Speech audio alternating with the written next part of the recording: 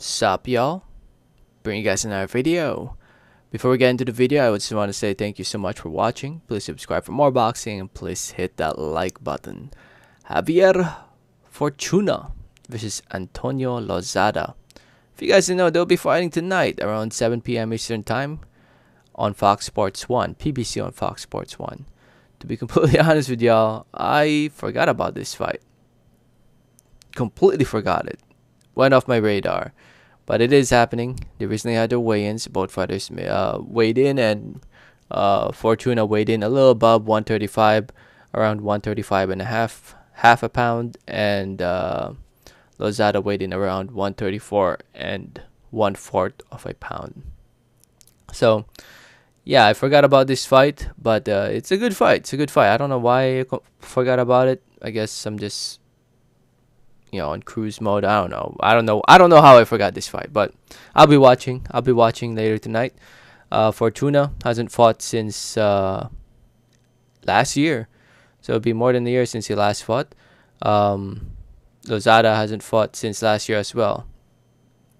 Uh, the way I see this fight playing out, obviously, as you guys can tell, the biggest, the biggest uh, obvious difference between these two fighters is the height. The height of Lozada. Lozada is a lot taller. I think on BoxRec he's six foot, six foot, and Fortuna is five six and a half. So that's a big height advantage and reach advantage for Lozada. But he doesn't really fight that tall. Um, you know, he he fights shorter than his height, and I think that will give Fortuna the um, uh, some opportunities to land some good punches and combinations towards Lozada.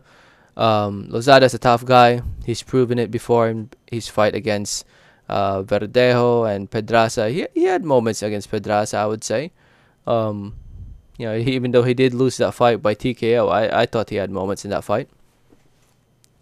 Um, but yeah, he's he's a game fighter. He's a game fighter, but at the same time, you know, he, he doesn't have that experience compared to Fortuna. Fortuna has been around for a long time, man. It's, it's feel like he's been around for quite some time now. I mean, if you look at his resume, he's always fought some top competition.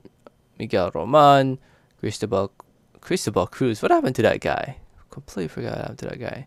Patrick Hyland, um, Abner Cotto, uh, Bryan Vasquez, Jason Sosa, Omar Douglas.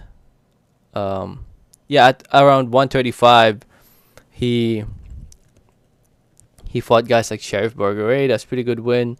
Robert Easter Jr. That was eh, that was a close fight. That was a close fight. Very close fight. Adrian Granados when he fell off the ring.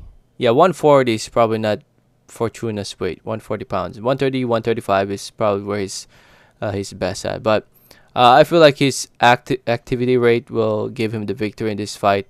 Um, I don't really see him knocking out Lozada. Um, but you never know, right? Anything's possible. But should be a good one. Lozada, like I said, is a game fighter. He always shows up to fight. Uh, he'll definitely try to pull off the the big win and you know possibly upset. Nah, I don't think it's gonna be upset. I I think I think Fortuna got this. I think he'll win this fight unanimous decision, seven rounds to three. I think it's scheduled for ten. Yep, scheduled for ten. So anyway, let me know what you guys think. Let me know your thoughts. Let me know in the comment section below. Thank you so much for listening and watching. Don't forget to hit that like button if you haven't yet, please. Don't forget to subscribe if you haven't yet. Please, and like always, have a great day. Alright, thanks.